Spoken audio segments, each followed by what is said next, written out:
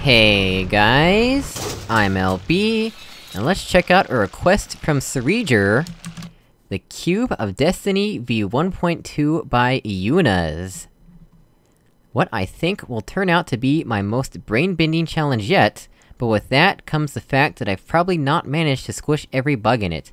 I tried my damnedest to get them all, but if there's one that I missed, tell me. Fix an alternate solution to make clear what each button does, reduced antline clutter, tidy it up a bit, and remove the necessity for the light bridges in some in the same swoop as making the test look really purty. Thanks, Carl Kinner. Well, uh... Unless this, uh... Uh...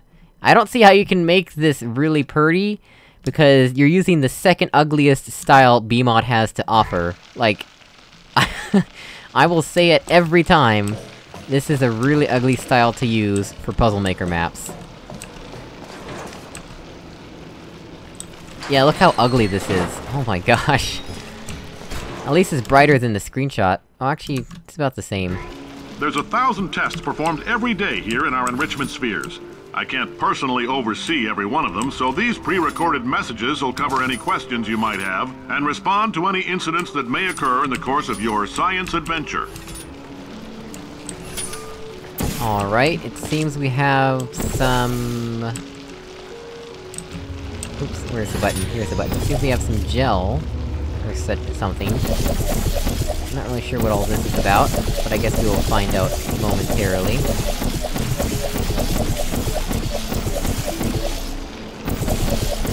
Might as well get gel everywhere, right? Why not? Alright, so, we have gel everywhere. There we go. And... Oh, I didn't even see that. That's a thing, right? That's probably how we get into there, probably. What's in here, though? Ah, so we have to disable the fizzler, probably with that button. Oh wait, what? Wow, that antline goes on quite a journey. And then we can put the cube there, but first of all, let's just get up there and, and see if we can verify what I am seeing here. Put this cube on this button, please. Oh yeah, that gets us in here for sure. There's the button.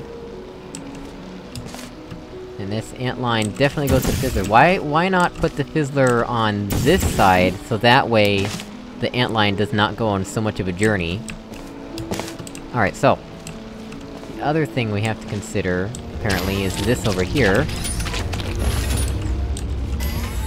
Alright, so we'll plunk a portal somewhere on there, for example. And then... run through. Where does this take us? Through a fizzler, but there's a way back out, it seems. And up here is... the button. Wait, really? I must be missing something. Is this on a timer? No.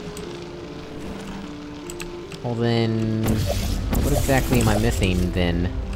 Because this doesn't seem challenging at all.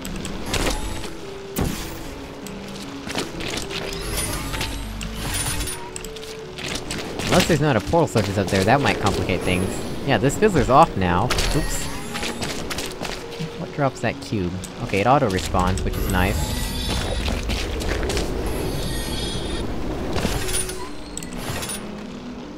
Yeah, there's no portal surface in here, so I guess that's the trick? Uh...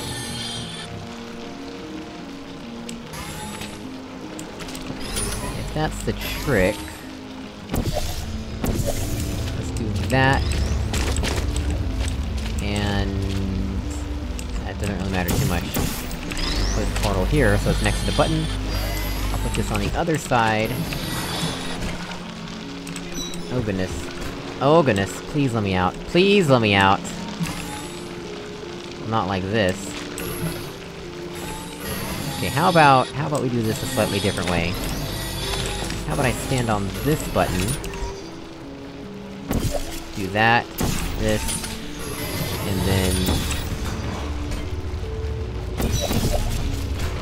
Well, that didn't quite work out.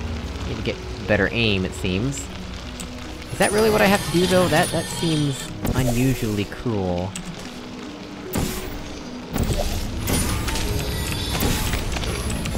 Moving it. There we go. Hey, we did it. Alright, what next? Well, We're that's not gonna it. release this stuff into the wild until it's good and really? damn ready, so as long as you keep yourself in top physical form- Alright, well guys, as always, thank you so much for watching, I really appreciate it, and I will see you all in another video. Goodbye!